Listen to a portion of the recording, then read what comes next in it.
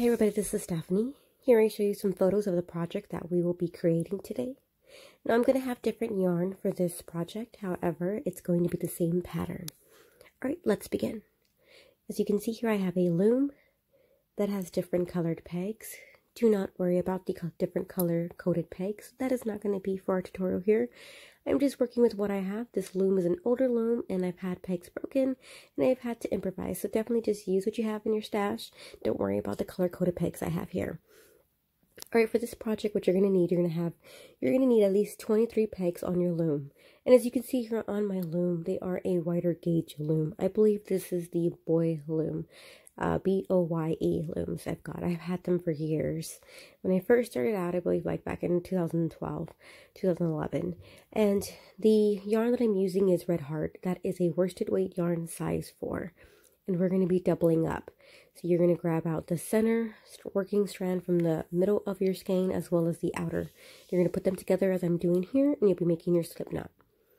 You're going to be needing a total of one and a half for each color. I'm using two colors, so that's a total of four skeins. I believe it does one and a half, but so depending on how many colors you choose to do, uh, I would start off at least with two, as you see here.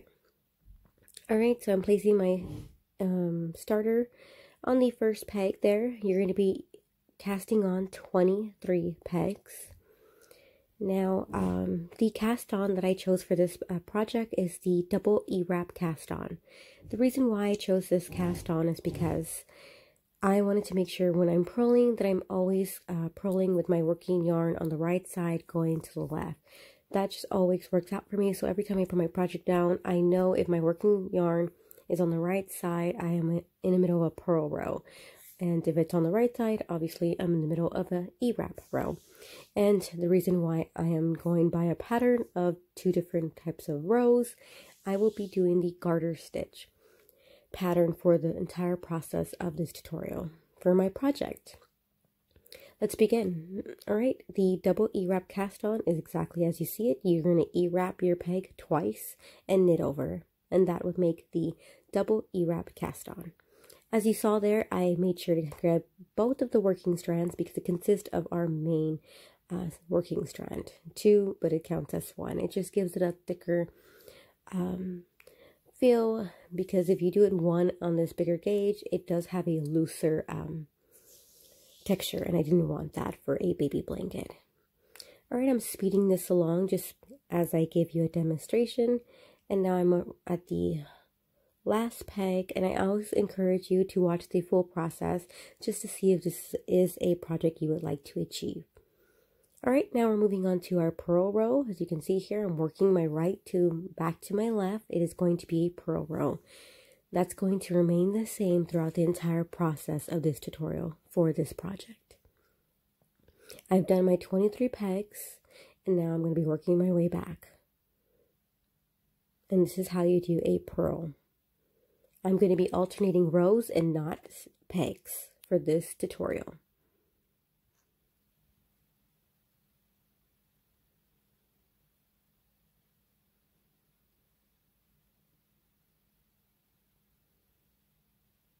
And here I speed along just because after I show you a demonstration, I'm going to speed this up. Always recommend to pause the video so you can play catch up which you'll be needing to do throughout the uh, tutorial is just to pause the video and get as many things or squares or panels done and then meet me back. Alright, I gave you one more demonstration of how I get each row done, which is the next row would be a E-wrap knit. Again, we are doing the garter stitch for the entire process of this project.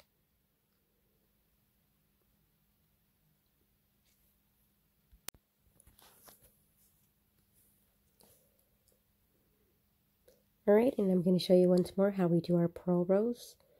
And you're going to go all the way across. You're going to be doing this now when I tell you you're knitting a row, the E-wrap knit, and then you're going back and you're purling a row. That is the pattern of the garter stitch. Those two rows count as a set for me, and I want you to do 23 sets. And that's going to make your square. Now, the reason why I chose to do 23 sets because mm, when you picked out 23 pegs, it equaled to a width of 9 inch squares. So I counted how many sets I had to do to also equal a 9 inch square in length. So this is how I came for them for that number of 23 sets of doing the garter stitch. All right, we have completed our knitting and purling. I'm going to want you to continue that until you've done a total of 23 sets. And this is just my hands telling you since I tried to do a process video in real time. However, the background noise of my kids and my life just did not allow me that. All right, so here we are. This is the first square completed. Now I'm going to be showing you how I do the color change for the second square. Normally you would cast this off and then you would start your second square. However, I am a lazy crafter. I do not like, and I do not like sewing. So instead of doing, um, casting this off, I simply add on a color change for the next square. Showing you a slip knot and um, I'm about to just do a color change that which is very simple and this may not be the uh, method you would choose however I'm just letting you know this is how I do it and it works for me you would get a slip knot and you would place it on the starter peg and then you would e-wrap as normal and you would start your pattern all over again and do your 23 sets for the second color of your square and here we go there you can see on the right I have a paper there. This That is where I count my sets to make sure I don't have um, any mess up. So I recommend you doing your row counting um, whatever way works for you between a row counter or um, a pen and paper like I do. But this is exactly how you do a color change for the next square. Super simple. And uh, in a bit, I will let you know how I further connect them with the tails of the two colors. So you saw how I added the slip knot and then knit over. Now we're going on to our purl row. In a bit, I will show you how I double knot the tails and then I will be weaving them in. But for now, just simply double knotting the tails and then at the end when it's time to sew them all together that is when I will sew in and weave in all the tails which will be the second video of this tutorial. Just because this is already taking a longer time I'm gonna have to break this up into sections Alright, so that's the only thing that this pattern calls for. It's the only change. You do the garter stitch for 23 sets for each color uh, square. You alternate on the colors when it's time, and that is the color change I just showed you. And basically, you got the pattern down, you guys. So what I recommend you doing now is making as many uh, different color coding squares to get your panels. Now, for me, I did a total of four squares per panel, so two of the each colors alternating. And then I did three panels, and then after that, I sew those together. You do not have to stop at four squares. You can do as many as you like, and then just come back and meet me to do uh, at the second video for the sewing panel portion. The third video is going to be completely optional and it's going to be the crochet border. Now, many people do not like the idea of having to crochet a border, so I recommend you leaving it like this and calling it done. That's why it is considered an optional tutorial for the third video. Alright, I'm going to show you step by step how I add each color square, but at this point you basically got the pattern down. So if you want to speed across to the end of the video, and I'll try my best, so sorry about the notification noise, um, try my best to leave a, uh, a little link here at what time my cast off will be at the time. I hope that made sense. I got lost my train of thought there for a little bit with that notification. Here I'm showing you how I double knot and then I'm going to be weaving in my tails within the color uh, coordinating squares that they belong to. All right, so that was our first, second, third. We're on our last square, and it's the same technique that we've been doing. I'm simply leaving in how I add in the color change. It is the only change that we do in this pattern, and we just cast it on like regular, and we do our 23 sets for each square. The biggest change for this pattern is just going to be, you know, starting it off and also casting off. So, super simple. I do have more tutorials on a different loom, the Martha Stewart loom, where I talk about um, adding borders to my squares since there was a lot of um, requests and questions on how to have a border um, all on the loom doing a border and not having a crochet border. So this is why, again, I mentioned the third tutorial for this uh, project is going to be optional just because some people don't want to have a crochet, uh, crochet border as the option. So, and I'm just showing you again the color change. There is nothing to it, just you're just adding it on like normal.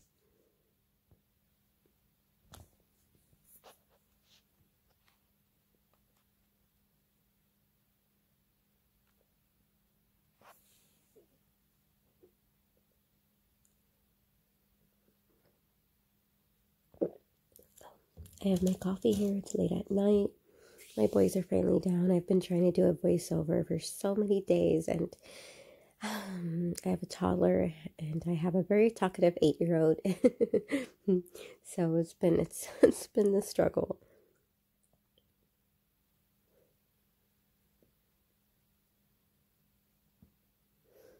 My older one, he's very quiet. He'll sit there and just watch TV, so he's pretty easy now. But Unless you start talking about Fortnite. then never forget. Alright, we're going on that purl row. I like to just show you the same pattern just to let you know nothing changes other than the color change. And I'm just being in depth and very thorough so that way there's no um, mistakes or um, it's very clear. And that is how it's going to look from the back and underneath and you're going to continue your square for your total of 23 sets and then come back for the cast off. And look at our squares. Oh, and I do want to recommend while you're working on this project, don't let the squares, the working squares at the bottom hang from your work. So when you're working on it, make sure it's like it's on your lap or it's resting along something. And the reason I say that is you don't want it to start to stretch from the weight of being pulled off of the loom and it may give you a mis um, calculation of how many rows you did if you were to measure it with a ruler. So if you thought you did nine inches but you didn't count your sets and you try and do a ruler scale but it got stretched out from um, just being hung, you know, weighing it down from the loom. Okay, so we're going to talk about our casting off. As you saw me, uh, you would knit the first peg, knit the second peg. You would place a second peg loop onto the first peg and then do a uh, E-wrap. So you have three pegs and you're going to knit over two. Hang on, let me show you again. We're going to move that over to the next peg. You're going to E-wrap the second peg and then you're going to knit over. You're going to move that peg to the first peg.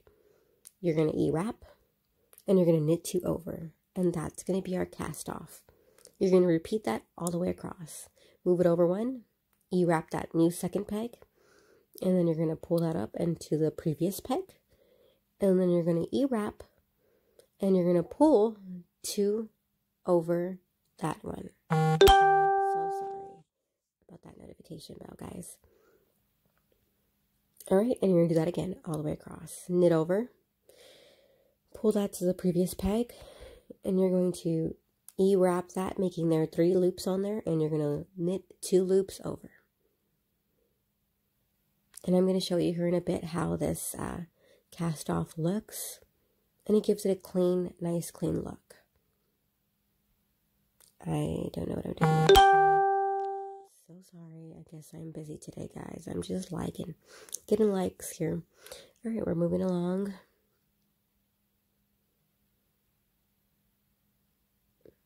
And I do leave the entire cast off process just so that way, again, it's thorough and uh, it's easy to follow along. You can pause the video and start it over many times over so that way you get it. And you're going to do this same cast off for as many panels as you choose to do. Now, if you choose uh, more colors, that is always an option. If you only use one color, then you're basically doing a rectangle. You would not do the color change. You would just keep on going and you can make rectangle panels. And that's an option. Honestly, it is this uh, tutorial is for um, for you to take advantage and you and get just get creative. I'd love to see uh, how many different colors you choose, how many squares you end up choosing. I know you probably choose like way more than mine. If you like, look at that cast off right there. So that's how it's going to look If that's not your preference, there are definitely more cast off choices here on YouTube. Uh, this is just how I do it. Alright, I sped it through just so that way uh, it's the same on editing for you guys and it's not a longer video than it needs to be. Again, you can always rewind back to the beginning of the cast off portion and um, follow along there.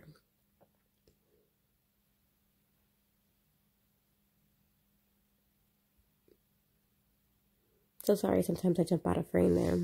I get into my zone and I'm like trying to work and I forget, oh, wait a minute. It is so hard to um, kind of do your work kind of upright and you're not really, you know, I usually have it resting on my lap in front when we're watching TV and it's just uh, my little thing to do while we're um, movie night with the family.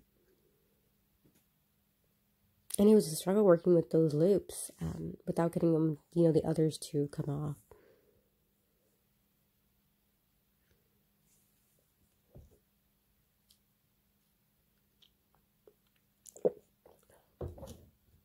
Coffee. Mm.